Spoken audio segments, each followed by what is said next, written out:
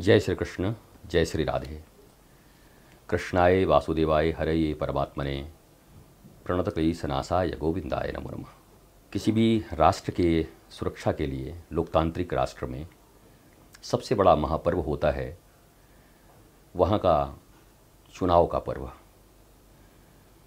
भारत के लिए ये सौभाग्य है कि भारत के पाँच राज्यों में वर्तमान स्थिति में लोकतंत्र का सबसे बड़ा पर्व, सबसे बड़ा त्यौहार।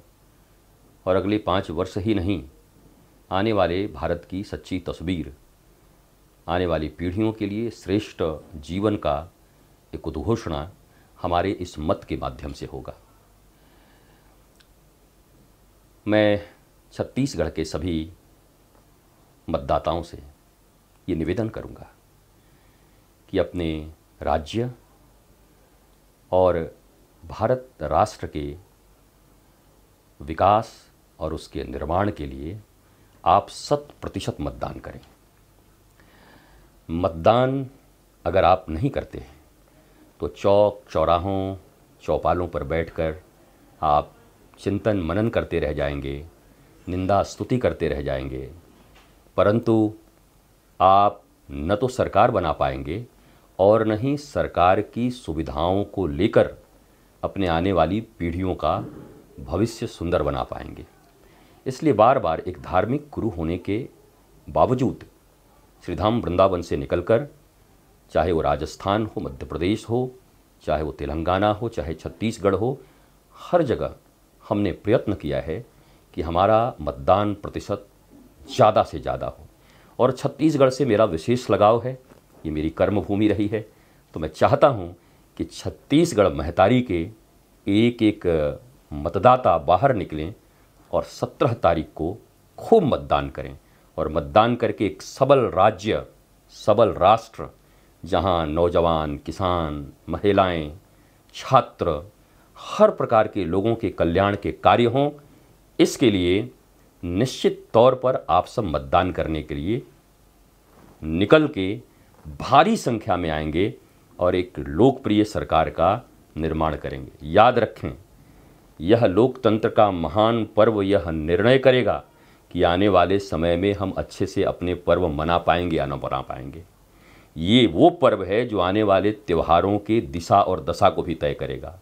इसलिए अगर अपनी संतान के लिए आप धन जमा करते हैं, मकान बनाते हैं, उससे भी श्रेष्ठ है कि जो नीति निर्धारक तत्व हैं, वो सरकार वो संविधान के तहत चलने वाली ये जो सबसे बड़ी संस्था है सरकार, ये सरकार अगर आपके अनुरूप होती है तो आप और आपके आने वाली पीढ़ियों का विकास होगा, राष्ट्र सुरक्षित होगा, सबल होगा, संस्कृति बचेगी, धर्मयुक्त राजनीति आगे बढ़ेगी।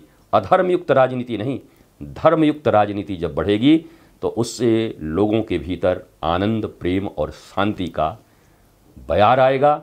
लोग आनंदित होंगे। मैं पुनः पुनः छत्तीसगढ़ के लोगों को हाथ जोड़कर ये विनती करता हूँ कि चूकिएगा मत सबल राष्ट्र के निर्माण के लिए, मज़बूत राष्ट्र के निर्माण के लिए और श्रेष्ठ छत्तीसगढ़। छत्तीसगढ़ या सबले बढ़िया ये वास्तव में हो सके, इसके लिए भारी संख्या में मतदान करिए और एक अच्छी सरकार जो आपके लिए काम करे। लॉ एंड ऑर्डर जहाँ पर ठीक हो। जहाँ आप सुबह, शाम, रात्रि, दोपहर निर्भीक होकर अपने राज्य में घूम सकें, आपकी बहु बेटियाँ सुरक्षित रह सकें, आपके लिए सब साधन, संसाधन उपलब्ध हों। नफरत नहीं, जहाँ प्रेम हो, ऐसे सरकार के लिए आप प्रयत्न करें। श्रीधाम वृंदावन से निकलकर छत्तीसगढ़ में, हमने छत्तीसगढ़ के कई शहरों, ज़िलों बड़े बड़े ज़िलों में हमने बहुत बड़ी शोभा यात्राएँ निकाली। हम घर घर द्वार द्वार गए, टोलियाँ बना बना करके लोगों को मतदान के लिए हमने जागृत किया। लोग पूछते हैं कि, गुरुदेव, आप तो वृंदावन में रहते हैं धर्म गुरु हैं, आपको ये क्यों ज़रूरत पड़ी? क्योंकि मैं भी इस राष्ट्र का नागरिक हूँ और इस राष्ट्र का विकास, इस राष्ट्र की प्रगति, राष्ट्र का सुरक्षा, राष्ट्र संप्रभु और अक्षुण रहे इसके लिए जो जो प्रयत्न एक नागरिक करते हैं, वही प्रयत्न मेरे भी हैं। एक सामान्य नागरिक की तरह छत्तीसगढ़ के ज़िले ज़िले में गाँव गाँव में जा कर के हमने ये काम किया है। मुझे पूरा विश्वास है कि ये व्यक्तिगत जागरण, टोलियों के द्वारा जागरण लीपलेट्स पम्पलेट्स हमने जगह जगह दिए हैं।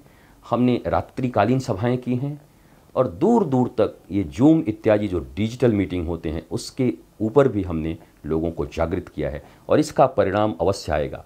और मैं भी कहता हूँ, जो करिए, दिल से करिए। जो करिए, हृदय से करिए। मैं जब वृंदावन से निकला तो हृदय से निकला कि हमारे ही देश के इस राज्य में और जहाँ से मेरा बहुत जुड़ाव है, मेरे कर्म क्षेत्र में, खूब मतदान हो और इतनी लोकप्रिय सरकार आए कि छत्तीसगढ़ के लोगों को कभी पीछे मुड़ के देखना न हो। उनका चाहे आध्यात्मिक जीवन हो या भौतिक जीवन हो, दोनों ही समृद्ध हो। बाह्य जीवन और आंतरिक जीवन, शांतिमय, आनंदमय और प्रेम में हो। इसके लिए मैं मैं राधा रानी और श्री कृष्ण से प्रार्थना करते हुए और अपने कर्म के द्वारा, पुरुषार्थ के द्वारा मैंने ये करने का प्रयास किया है। हमारी टीम ने, पूरी टीम ने आनंदम धाम की और आप सब छत्तीसगढ़ वासियों के सहयोग से और इसका परिणाम हमें सत्रह तारीख को दिखेगा और तीन तारीख को जब मतदान के परिणाम आएँगे, फिर एक लोकप्रिय सरकार बनेगी तो ये छत्तीसगढ़ की विजय होगी और छत्तीसगढ़ की जीत होगी। जय श्री कृष्ण, जय श्री राधे, जय हिंद। जय छत्तीसगढ़। आनंदम धाम का यह संदेश करे मतदान सुरक्षित रहे देश। यह आपके लिए प्रस्तुत है, जो पूरे देश में जहाँ जहाँ ये चुनाव हो रहे हैं, लाखों की संख्या में। अभी टोलियाँ हमारी, हम पिछली बार भी छत्तीसगढ़ आए, इस बार भी आए हैं, और कल भी लाखों की संख्या में अपने कार्यकर्ताओं को, जो हमारे आनंदम धाम के कार्यकर्ता हैं, वो गाँव गाँव टोलियाँ बना करके निकलेंगे और लोगों के लिए मतदान के प्रतिशत को बढ़ाने के लिए निवेदन करेंगे और मुझे पूरा विश्वास है कि छत्तीसगढ़ में मतदान का प्रतिशत बढ़ेगा और एक लोकप्रिय, जनप्रिय, राष्ट्रवादी, सुंदर, सनातन संस्कृति आपकी संस्कृति को लेकर के एक सरकार आएगी जो छत्तीसगढ़ के साथ साथ राष्ट्र को मज़बूत करेगी। जय हिंद, जय भारत, जय छत्तीसगढ़।